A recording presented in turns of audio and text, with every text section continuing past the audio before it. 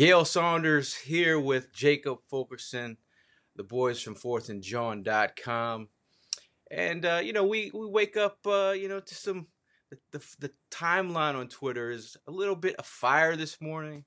Uh, thanks to a gentleman by the name of Phil Mackey. Uh, he, he, he works with ESPN, uh, 1500 ESPN's Mackey and Judd show. Uh, and we're going to play a little audio for you to get you a little fired up as well. Take a listen. That's right. That's what's coming, Vikings. That's right. That's what's coming. We might not beat you, but we're going to beat up yes. your fan base that dares to show up. It's an amazing inferiority complex. I mean, the, the Philadelphia inferiority complex, it's, it's thick. It's palpable. It's Boston and New York envy at its peak. Even their radio hosts are trying to be Mad Dog Russo. Oh, what's going Philadelphia. Uh, I mean, seriously. You know what? I want you're Such, not you're not Chris Russo. I want Such to start GL just like that today. That's what I want. What's going on, GLers? That's what I want. Let's talk right wing social topics. oh, can I rant How for a good minute? Would that be? Can I rant for a minute? One thing I'll say about Minnesota sports fans: we're pretty self-aware. Would you agree? Like we're we know where our teams stand. We know it's been a bad run lately. Uh, we're not delusional. We don't thump our chests for titles that were won 50 years ago. Like we're we're self-aware in that we're pretty embarrassed by the state of Minnesota sports in general in the last 25 years. Is that fair to say? Mm-hmm. Mm-hmm. I think it's definitely fair. Philadelphia fans, on the other hand, if I could create a Ross Perot-like chart of bravado versus actual success of Philadelphia sports teams, and compare it to like Boston and New York, the gap is pretty embarrassing. The, the lack of self awareness is pretty embarrassing. Outside of one World Series win by the Phillies 10 years ago, Philadelphia hasn't been championship relevant in decades. Yet they chirp like Patriots fans, like Yankees fans. Dwight Eisenhower was the president of the United States the last time the Eagles won a championship. But if you listen to their fans talk about swagger and talk about you come into our stadium and we'll kick your ass mm-hmm. and we're gonna make like, you guys, you hello, the Vikings actually have 10 more division titles than you since they became a franchise. The Vikings have won the NFC more often than you since they became a franchise. They have more playoff appearances. They have more Hall of Famers. And yet, we're self-aware the Vikings have this pretty large missing thing. Called- Now, if you are not fired up after listening to that, I don't know what I don't know what it takes. But Jacob, how are you how are you feeling about that audio right there? It's so disrespectful, man. Like you can't come at fans that you don't even know, people you don't understand. If there's anyone in the NFL that is self-aware, it's got to be the Eagles fan. And for Phil Mackey to go on this tangent, saying that we have no self-awareness, um, we have an inferiority complex. I, that's something else I really don't get because the last time the Vikings were relevant, when like nobody's talking about the Vikings being a powerhouse football team. It's just incredibly disrespectful for. Include here's the thing, before before the playoffs had even started, going into week what was it thirteen, against against the Rams, had Carson Wentz not got injured, who would be talking about the Vikings? In the national media? That's my question to you, Gayle.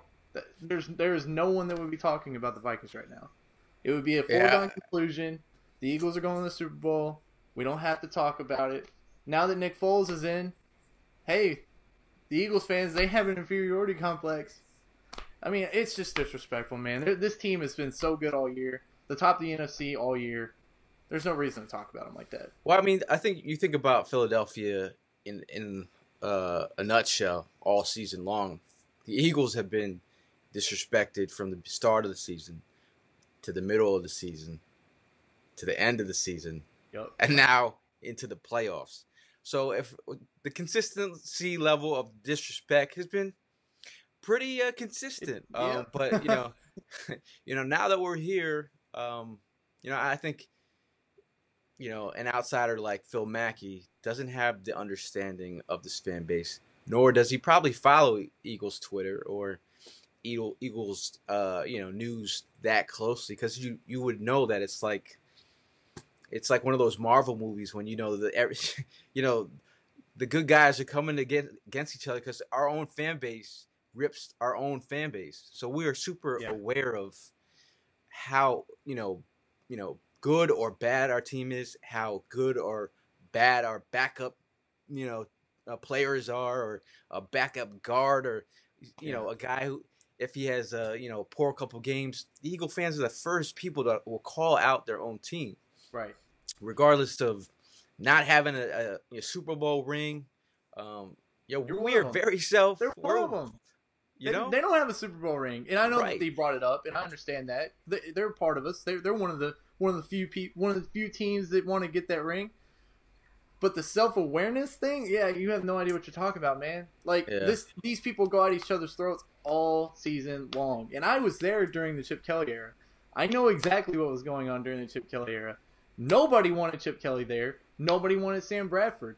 Everybody believed in Nick Foles. Nobody wanted Nick Foles gone, and the trade happened. The shit just went.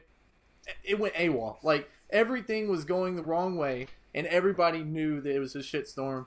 Doug Pederson comes in, calms down the locker room a little bit. They draft a, a franchise quarterback. Nobody knew he was going to start, and then he comes in after the trade to the Vikings, and he lights it up for the first four games, and then after that, it's history. Just the way it is. yeah. I mean, the, the whole inferior, inferiority complex. I think in a- in a like I, in a sense, I you know, Eagles fan base. If someone says something bad about Philadelphia, it doesn't matter if you've been fighting with somebody on Twitter, an Eagles fan or whatever. Everyone rallies around the troops. Like Right. if something, somebody sees something that's out of out of line, You see a Even target, at- you go hit it. That's the way I it think this, some some blogger, I think I forget, uh, she was. I don't know if she was from New York City or someone. A blogger made a, a comment about, you know, Philadelphia, the city in a whole, and everybody went at them. You know what I mean? It's just Yeah. this this city comes together. We did it with Colin Cowherd. Yeah. Colin Cowherd did this a few months ago, and he did it this week. Yeah, it's I mean, you, you got to protect your own. yeah, absolutely. Um, so I mean, you know, the, the level of disrespect is there. Um, but obviously, as an Eagle fan, you know that's that's why you know a, a phrase like "we all we got, we all we need" resonates with us. The underdog resonates with us because we understand that we've been doubted. You know, like like when we're talking about the playoff picture, you know this, you know this, you know everybody is you know overlooking us. But you know, you look at this playoff picture in a whole, teams that were supposed to make the playoffs, you know, you know, oh, we'll get wins in the playoffs. We'll start Yeah. with the Chiefs. We're supposed to beat the Titans. Uh, let's see the the Jaguars. You know, they they were not supposed to win. They were not supposed to beat the Steelers, but here we are. Uh, let's see. You know, the Eagles were not supposed to beat the Falcons, but here we are. Uh, the Saints, you know, going into the Vikings, the Saints were not supposed to beat the Vikings, but as you know, it came down to that last minute play with Right. Diggs. Yep. So they could have easily lost that. So, you know, that is why the game has to be played. And now, talking about the game that has to be played, the NFC title championship. Jacob, uh, what's your prediction on the game? Well, I said it to Ryan earlier. He posted a tweet uh, talking about, uh, you know, give me your predictions. Uh, tell me what you think's going to happen. The way I see it, uh, it is going to be a good game. They're both fantastic teams. I mean, I'm not because of Phil Mackey and what he said. I mean, that's just adding more to the fire. You know, do do what you got to do. But um, the way I see it, I think that it comes down to the quarterback play. Uh, whoever plays better, whoever limits their mistakes. Uh, it's going to come down to whoever plays well and the quarterbacks. Like, uh, and the way I see it, I think Nick Foles is better than Case Keenum. Um, I think he's had to been he's been asked to do more, um, and he also hasn't had the full season to rally behind his team. So I think he's got the chemistry now. I think we move on to Minnesota. I think we play the Patriots in the Super Bowl, and the score is going to be twenty-seven to twenty-four, Philadelphia. 27-24, uh, like in my last video with uh, Braxton, I have the Eagles at 20 to 17. Ooh. I think, uh, like I said, it's, it's going to be a defensive battle on the field. I feel Yes. like whatever team, you know, whoever's quarterback or you know running game steps up, that's going to be the X factor. Uh, but I, I do believe the biggest mismatch is our defensive line versus their offensive line.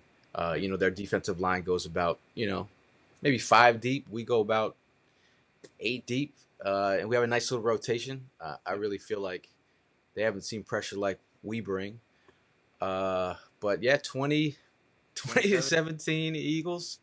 Uh, but I, I think that's all from us. You know, I think uh, it's going to be a, a great game tomorrow. I think uh, Eagle fans got to be proud of getting here. All the adversity that we've seen this season, you got to be proud just, you know, getting to this moment. And I think Yep. we have a, a, a team that's ready and willing to uh, shock the world, as they say. Any last words, Jacob? Uh, I want to give a huge shout out to the Good Morning Football team and Kyle Brandt, uh, showing tremendous support for the Fourth and Jawn podcast, coming to the F1 parking lot. Uh, Just incredible that we, you know, get our exposure on television. It's just been great. Enjoy watching him go on his diatribes on on live TV, pulling out the Yeah. poodle mask, doing his thing. Uh, Yeah. He he knows what he's talking about. Like he he he has a passion for the for the Philadelphia Eagles. I could tell, and He's doing the work. yeah, he's doing a great job. You can, you can tell show. you, you can tell he researched. It's funny because uh, he was walking in the in the parking lot, and I'm sitting there, you know, right by the uh, NFL Network setup. But you know, people on Twitter told him to come to Fourth and Jawn because he was looking to crash the tailgate. So Yeah, that's thank you Eagles Twitter for directing Kyle yeah. Brandt to our tailgate. So he's walking through the parking lot, and I I see him, and I'm like, dude. I was like, Kyle, what's up, man? Uh, na- name's Gayle. It's nice to meet you, man. I you know you really were bringing the heat last week. Some of your hot takes were pretty pretty dope. And he and he's like, oh yeah, thanks, man, thanks. He's like, uh, I got a quick question for you. I- I'm looking for Fourth and Jawn, and I'm like, I'm like, dude, dude, we this are is. Fourth and Jawn. I am I am Fourth and Jawn. Yeah, I'm a part of Fourth and Jawn. Like our crews, our, our whole crew, our tailgate is over here. So uh, I bring him over, introduce him to E. He's got the Pope hat, and I'm Yeah. like, I was like, uh, E, we got uh, Kyle Bring here. Um, he wants to check out a he wants to check out a baptism. So Kyle Brandt's with his brother and his uh, friend, and then I'm like, yo, you guys want some beer? They're like, yeah, yeah. So we're sitting there drinking with them, and then uh, they they they check out a uh, a beer bomb baptism uh, by your our boy uh, E Rock. Uh, so I mean, it was, they were very happy, and they, they ended up uh, putting putting the, sh- the photo on on uh, on NFL Network. Gave us a nice little shout out um, on their Good Morning Football show, and then he gave us another shout out uh, when he was on with uh, Michael Barkan. So Yeah. big shout out to Kyle Brandt, and good shout out to media that actually does their homework. Um, it's very uh, you can pick the pick the low hanging fruit um, stuff for reporters who don't really do their research. Yeah, on top think- of that, we've got a few people that I personally didn't expect their prediction on the on the football game. Uh, you've got Skip and Shannon undisputed on FS1. Both of them are picking the Philadelphia Eagles to win the game this weekend. Hey, that's a that's a first. I mean, last Yeah. week we had the bandwagoners going for Atlanta. Cool. Now Shannon Sharpe has hopped on the Philly bandwagon. Cool. We're gonna go to Minnesota, do our thing, get it done, beat them, move on to the Super Bowl, and hey, guys, Oh, look at you. Guys, Yeah. the win. We got Okay. this. Jacob dropping the hot bombs this morning. But uh, that's all for me, Gayle Saunders, uh, Jacob Fulkerson. Where where can they find you on Twitter? Uh, you can find me at the J Fulkerson. It's T H E J, and then my last name. Uh, I'm, I'm contributor for the Fourth and Jawn uh, website, and you can go on there read what I've got to say. I mean, even before the season started, me and Gayle we did a few videos on YouTube. Check us out here, and uh, that's all I've got to say. So And you can find me at Eagle Sessions. And uh, we are fourthandjawn.com. Uh, and here's to getting that big dub. that's right. Fly Eagles fly. There you go.